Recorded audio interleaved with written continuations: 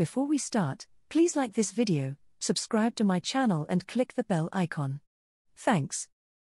The Queen could miss some of her Platinum Jubilee celebrations, a royal source has revealed. The Queen's Platinum Jubilee is just a matter of weeks away, but now speculation is growing that the long reigning monarch may not be able to attend some or all of the planned events.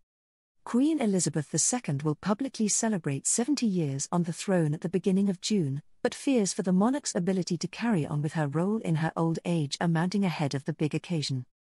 The Queen, who turns 96 on Thursday, April 21, has pulled out of numerous events in recent months due to her increasing frailty. The monarch, who has recently been recovering from coronavirus, pulled out of the Maundy Thursday and Easter Matins church services at St. George's Chapel, Windsor, this bank holiday weekend. Since the Queen spent a night in hospital last autumn and subsequently sprained her back, the palace has regretfully cancelled her attendance at several events at the last minute. She has recently taken part in virtual events, but is now scarcely seen outside of Windsor Castle. Will the Queen miss the Platinum Jubilee?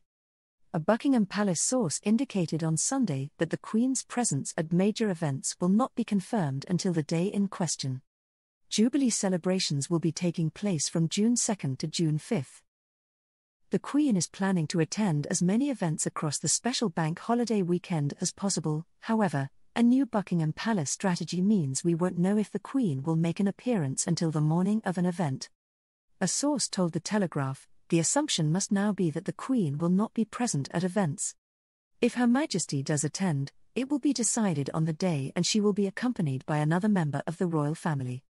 Out of the many events taking place over the weekend, the Queen will most likely attend the service of Thanksgiving at St. Paul's Cathedral on June 3 and the Epsom Derby on June 4. It is also highly likely she will be seen on the Buckingham Palace balcony alongside the rest of her family following Trooping the Colour on June 2. However, given her frailty, it is very unlikely she will be taking part in meeting members of the public on street walks, like she has previously done on Jubilees.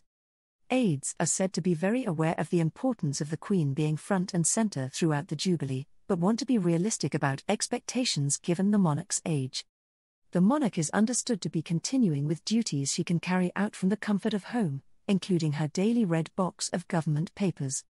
What health concerns does the Queen have?